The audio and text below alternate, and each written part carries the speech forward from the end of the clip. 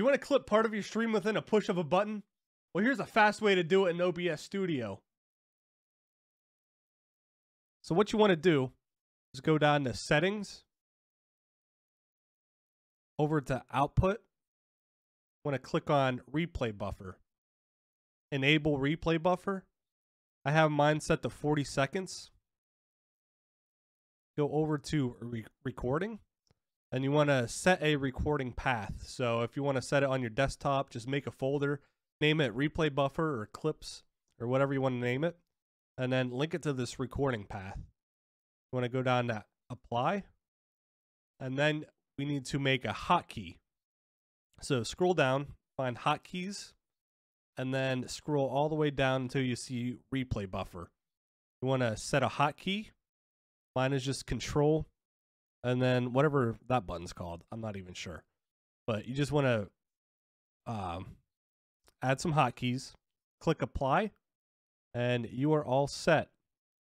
So whenever you're on a game or whatever, you get like a nice snipe or whatever game you play, you have a funny moment and you want to make a clip, just click on those two buttons, the hotkey buttons, and the file, video file saves right to your uh, replay buffer folder.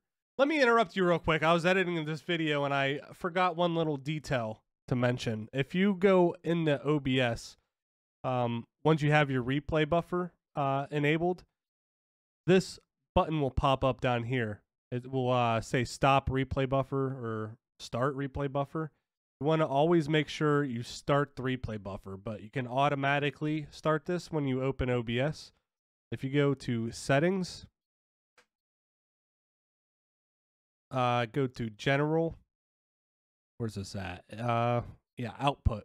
So automatically, uh, where's it at?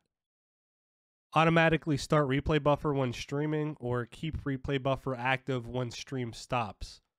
Um, I don't have them selected. I don't need it. It's just a habit at this point to always turn it on. But uh, I thought I'd let you guys know about that. Um, yeah, let's get back into it.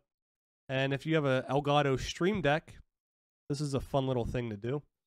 Is you want to um, go over to multi-action, which is under Stream Deck.